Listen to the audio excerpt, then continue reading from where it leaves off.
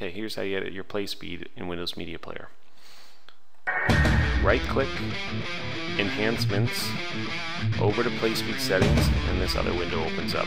The slider defaults to 100%, so as you click back, you go back 10% until you hit 50. There's 90.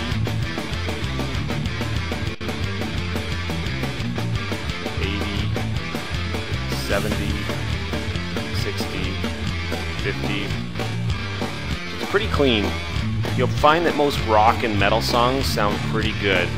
Um, like blues, jazz, country, a lot of clean stuff, acoustic stuff will be a little bit gargly when you listen to it. It's not as dry as rock and metal tends to sound.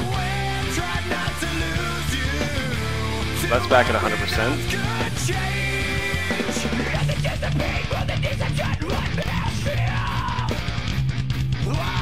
So it's still pretty clean, which is good enough for working out your riffs with an audio track. This is a good part for this. So that's the original speed.